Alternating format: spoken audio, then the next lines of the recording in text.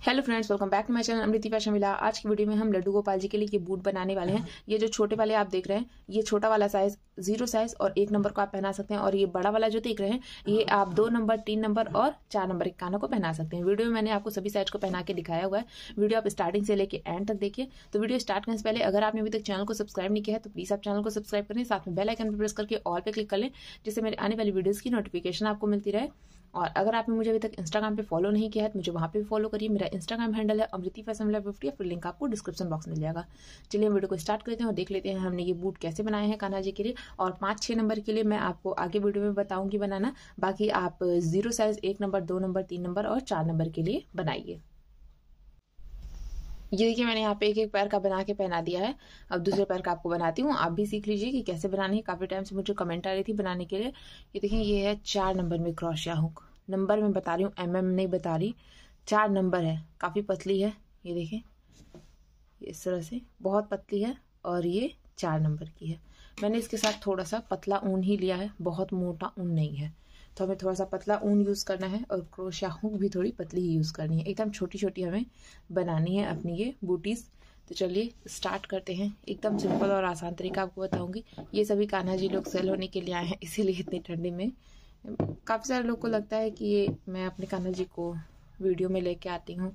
कितने सारे लोग तो बुरा बुरा कमेंट भी कर देते हैं। अब देखिए ये इस तरह से हम यहाँ पे ऐसे करके एक लूप बनाएँगे और इसमें अपने हुक को डालना है। हुक को डालने के बाद हमने थोड़ा सा टाइट किया। इतना टाइट कि हमारी हुक इस तरह से देखिए आसानी से सरकती रहे।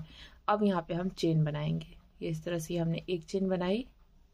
ये हमारी दो, ये तीन और ये चार। हमने चार चेन बना ली। अब देखिए एक चेन हमारे हुक में, इसके बाद हम एक चेन छोड़ेंगे और अगली चेन में हमें डालना है इस तरह से हुक को। फंदे को निकाल लिया और हमने ये सिंगल क्रॉशिया बुन दी फिर नेक्स्ट चेन में डालेंगे। ये हमने डाल दिया, यहाँ से फंदे को निकाला और हमने सिंगल क्रोशिया बुन दिया।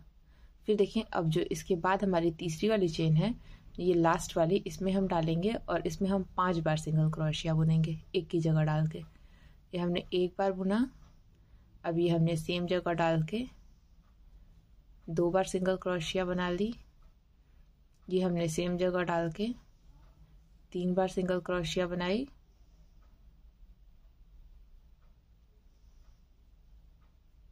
फिर यहीं सेम जगह डाल के हमने चार बार सिंगल क्रोशिया बना ली और यहीं सेम जगह डाल के हमने ये पांचवी सिंगल क्रोशिया भी बना दी। देखिए, हमने पाँच बना ली है। अब इधर हमें बुनना है, यहाँ से, इस तरह से। ये हमने एक बार सिंगल क्रोशिया बनाई पाँच बनाने के बाद। फिर यहाँ पे हमने आगे डाल के एक बार और बनाई। तीन चेन थी स्टार्टिंग में दो चेन में हमने एक एक बार सिंगल क्रोशिया और तीसरी चेन में हमने पाँच बार बनाया था। और पाँच बार बनाने के बाद इधर भी हमें दो बार बनाना है। उसके बाद हम क्या करेंगे? इसे यहाँ पे इस तरह से ज्वाइंट करेंगे। ऐसे करके हुक को डालना है। डालने के बाद फंदे को निकाल लिया और इसी फंदे को यहाँ से भी निकालेंगे। ये देखें ये जो नीचे का हमारा बेस होता है सॉक्स का, वो रेडी हो गया है। अब हमें क्या करना है? इस तरह से हमें एक और दो दो चेन बनाई। ऐसे लपेटेंगे एक बार।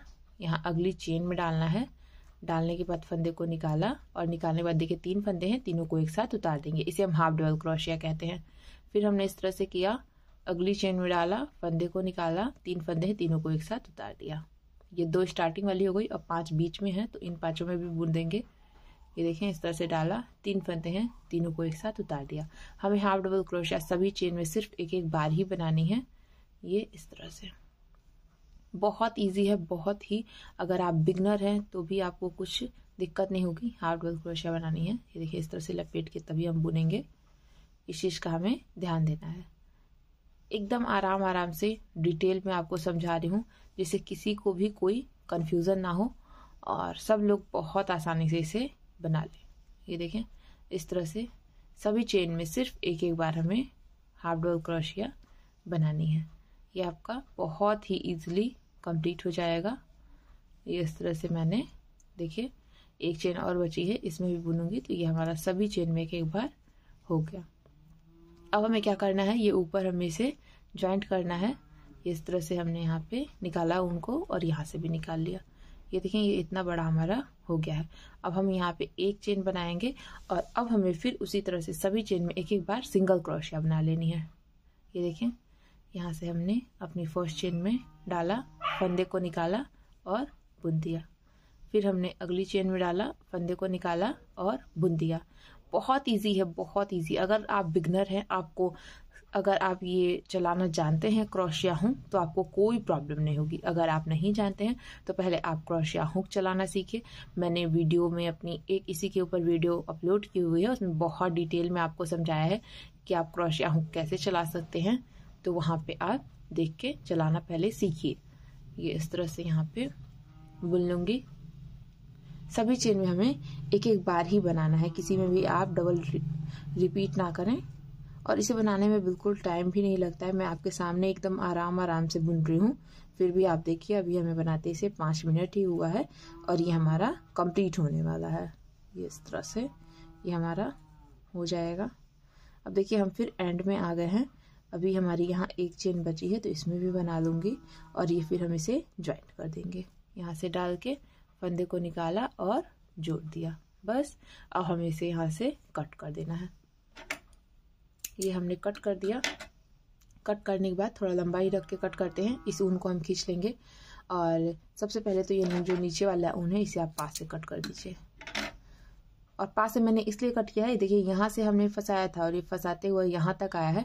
अगर आपका नहीं आया है, आपने नहीं उसे बुनाई करते वक्त फंसाया है तो इस तरह से पहले उनको थोड़ा दूर ले आके खींचिए और उसके बाद कट करिए। अगर आप एकदम पास से तुरंत तुरंत कट कर देंगे तो फिर आपका वही बुनाई जो है वो खुलने लगेगी। ये देखें, ये हमारा हो गया है। इस तरह से हमारा आया है। आप देखें कितना छोटा सा है ये। ये मेरी उंगली पे भी नहीं आ रहा है। उंगली से भी छोटा है। देखिए अभी इतनी उंगली हमारी बच रही है। तो इस तरह से बहुत छोटा सा है। अब हमें क्या करना है? इसे इस तरह से करके ऐसे हमने इसे मोड़ दिया, ये हमारा पीछे वाला हिस्सा है जहाँ से हमने नॉट लगा के कट किया था।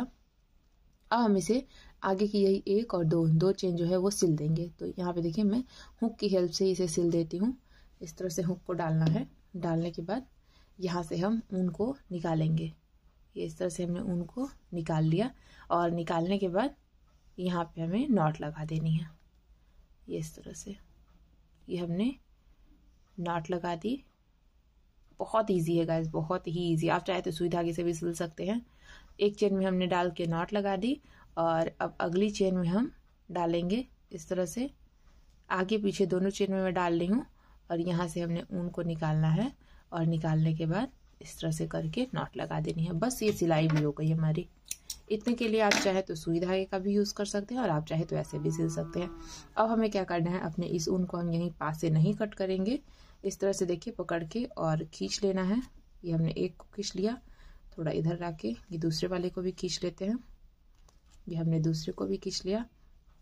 अब इसके होल में इस तरह से आप सेट कर लीजिए और यहाँ पे अब इसे कट कर लीजिए। ये हमारा बूट देखिए बन के रेडी हो गया आप देखिए कितना इजी तरीके से मैंने आपको इसे बनाना बताया है। पहना के भी दिखा देती हूँ। ये देखें ये एक नंबर के काना है। इस तरह से आ जाएगी इनको। आप देखिए कितने अच्छे से फिट आ गई है। बहुत ही आसानी से आप बना के और अपने कान्हा जी को पहना सकते हैं और बहुत ही खूबसूरत लगती है। बस आपको हुक पतली यूज़ करनी है और ऊन भी आपका पतला होना चाहिए। तो ये हमारा एक नंबर का तो हो गया। अब मैं आपको ये दो नंबर का भी बताती हूँ कि कैसे बनाना है। थोड़ा सा चेंज रहेगा। हमें इस तरह से एक नॉट लगा के लूप बना लेनी है। अब यहाँ से हम इसे टाइट करेंगे। टाइट करने के बाद हम देखें, एक, दो, तीन, चार और ये पाँच। हमने यहाँ पे पाँच चेन बनाई है। अब हम क्या करेंगे? इस तरह से लपेटेंगे। और यहाँ ये देखिए, एक चेन तो हमारी हुक में इसके बाद हम एक और चेन छोड़ेंगे और जो तीसरी चेन है, इसमें हमने डाल देना है हुक को। और यहाँ से उनको निकाल लिया अब देखिए, तीन फंदे हैं, तीनों को हम एक साथ उतार देंगे। ये हमने हाफ़ डबल क्रोशिया अपना ली। फिर हमने इस तरह से किया और अगली चेन में डालेंगे। फंदे को निकाला, तीन फंदे हैं, तीनों को एक साथ उतार दिया। फिर हमने इस तरह से किया। यहाँ पे अगली चेन में डालेंगे। ये हमने फंदे को निकाला, तीन फंदे हैं, तीनों को एक साथ उतार दिया। तीन हमने यहाँ पे हाफ़ डबल क्रोशिया बनाई। अब चौथी बनाने के लिए हमें क्या करना होगा? इसी चौथे में हम पाँच बार हाफ़ डबल क्रोशिया बनाएँगे। इस तरह से किया। और ये हमने अपनी चेन में डाला चौथे। यहाँ से ऊन को निकाला और ये हमने एक बार हाफ़ डबल क्रोशिया बनाई। ये हमने सेम जगह डाला, फंदे को निकाला, तीन फंदे हैं, तीनों को एक साथ उतार दिया। दो बार हमने हाफ़ डबल क्रोशिया बना ली। फिर हमने यहाँ पे सेम जगह डाला और ये हमारी तीन हाफ़ डबल क्रोशिया हो गई। फिर वही चीज़ करना है, यहाँ पे हमें सेम जगह डालना है और ये हमारी चार हाफ़ डबल क्रोशिया हो गई। और यहीं सेम जगह डाल के ये हमारी पाँच हाफ़ डबल क्रोशिया हो गई। हमने यहाँ पे टोटल पाँच हाफ़ डबल क्रोशिया बना लिया। अब इधर हमें तीन बनानी है हाफ़ डबल क्रोशिया तो देखिए ये इस तरह से बनाएँगे। ये हमारी पहली हो गई। फिर आगे डाल के ये हमारी दूसरी हो गई। और फिर आगे डाल के ये हमारी तीसरी डबल क्रोशिया हो गई। ये हमने तीन बना दी है। अब हमें क्या करना है? यहाँ इसे ज्वाइंट करना है। देखिए, मैंने ऊन को फंसा के इधर ले आ दिया है। ये पूरा बीच में इतने दूर हमारा फंसते हुए आया है। ये देखिए, ये इस तरह से इसके बीच में ही हमारा ये बुन जा रहा है। इस तरह से ऊन को निकालेंगे और यहाँ से भी निकाल लेंगे। ये देखिए, अब ये जो नीचे का हमारा बेस होता है, वो हमारा रेडी हो गया है। अब हमें क्या करना है यहाँ पे? एक और दो। दो हमने चेन बनाई। इस तरह से करेंगे और यहाँ सभी चेन में हम डबल क्रोशिया बनाएँगे। अब देखिए, आप चाहें तो इसी में ही अपना ऊन भी हाइड कर सकते हैं। तो चलिए, मैं इसी में हाइड कर देती हूँ, हमें कट नहीं करना पड़ेगा। ये ऐसे करके हमने एक बार डबल क्रोशिया बुनी, फिर देखिए, अगली चेन में हमें डालना है और फिर से डबल क्रोशिया बुन दिया। फिर हमने इस तरह से किया, फिर अगले चेन में डाला, ये ऊन आप इस तरह से पकड़ लीजिए तो इसी में आपका ये डबल क्रोशिया बनता चला जाएगा। फिर अगले चेन में डाला और हमने यहाँ पे डबल क्रोशिया बना दी। ये देखें। फिर हमने यहाँ पे अगली चेन में डाला और डबल क्रोशिया बुन दिया ये इस तरह से। ऐसे करके यहाँ सभी चेन में एक एक बार हमें डबल क्रोशिया बुननी है। बहुत इजी है गाइज़ बहुत इजी अगर आप बिगनर हैं तो भी आपको कोई प्रॉब्लम नहीं होगी। बहुत ही सिंपल और आसान तरीके से आप इसे बना लेंगे। बस आपको ध्यान देना है कि आप, देखिए मैंने इस चेन में बनाया है, हम आगे चेन में बनाएँगे। ध्यान से देख के बनाइए आप। अगर आप ध्यान से देख के नहीं बना पाते हैं तो आप गिन लीजिए। तीन चेन हमारी इधर की है, पाँच बीच की है और तीन उधर की है। तो इस तरह से आप इसे गिन के भी बुन सकते हैं। उससे आपका एक्स्ट्रा नहीं होगा इजिली आप इसे बना लेंगे। इस तरह से सभी चेन में एक एक बार डबल क्रोशिया बनाते हुए हम देखें, आप पीछे तक आ गए हैं। ये हमने इस तरह से ला दिया। अब यहाँ पे हम इसे ज्वाइंट कर लेंगे। ये ऐसे करके हमने उनको निकाला और ज्वाइंट कर दिया। ये देखें, इतना बन गया है। अब हमें क्या करना है? हमें अब यहाँ पे सिंगल क्रोशिया बनानी है। ये देखिए, हमने एक चेन बनाई और अब हम यहाँ पे सभी चेन में एक एक बार सिंगल क्रोशिया बनाएँगे। ये इस तरह से। सभी चेन में एक एक बार ही बनाना है। कहीं पे भी आपको दो बार नहीं करना है। इसी तरह से सभी चेन में एक एक बार बनाते चले जाइए। यही हमारा रो कंप्लीट होगा तो हम नॉट लगा के कट कर देंगे और उसके बाद हम इसे स्टिच कर देंगे तो ये हमारा रेडी हो जाएगा। बहुत ईजी है, बहुत ईजी अगर आप बिगनर हैं तो भी आपको कोई प्रॉब्लम नहीं होगी। बस आपको क्रॉशिया चलाना आना चाहिए। ये देखिए, यहाँ पे मेरा निकल गया है, मैं इसे उठा लेती हूँ हुक में अपने। और सभी चेन में एक एक बार बनाते हुए हम पीछे आ जाएँगे। जहाँ से मैं नॉट लगा के इसे कट करूँगी, वही हमारा बैक का हिस्सा रहेगा। पहनाते टाइम वही हमें बैक पे रखना है और आगे वाला हिस्सा हम सिलेंगे। ये देखिए, ये इस तरह से सभी चेन में सिंपली एक एक बार सिंगल क्रोशिया मैंने कहीं भी वीडियो स्किप नहीं की है। एकदम आसान तरीके से आपको डिटेल में हर चीज़ समझाया। अब देखिए, इसे हमें ज्वाइंट कर देना है। तो यहाँ पे हुक को डालेंगे। ये ऊन को निकाल लेना है और इसी ऊन को हमें यहाँ से भी निकालना है। बस यहाँ से निकालने के बाद हम यहाँ पे नॉट लगा लेंगे। इसे लंबा किया और कट कर देना है। ये हमारा कट हो गया। ये इस तरह से हमारा रेडी हो गया है। अब इसमें आप इसे चाहें तो इस तरह से ये टर्न कर सकते हैं।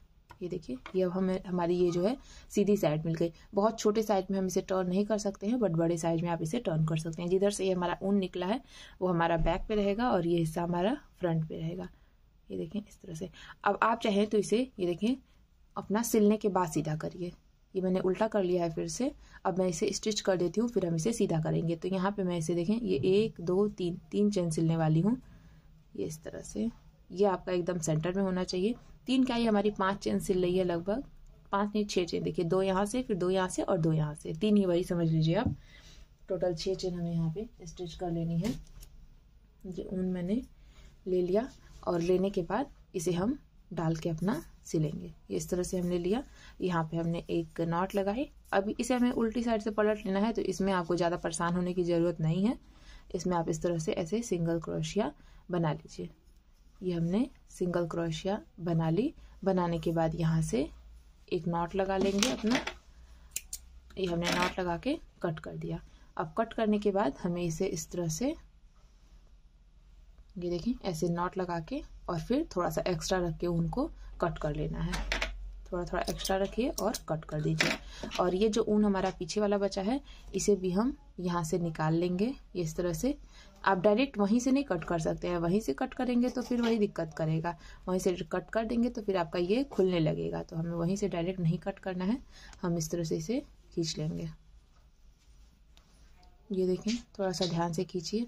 अगर आपका ऊन कहीं भी थोड़ा भी फंसेगा तो फिर वो निकलता नहीं है। इस तरह से मैंने यहाँ पे से खींच दिया। अब खींचने के बाद यहाँ से नॉट लगा के कट कर लूँगा।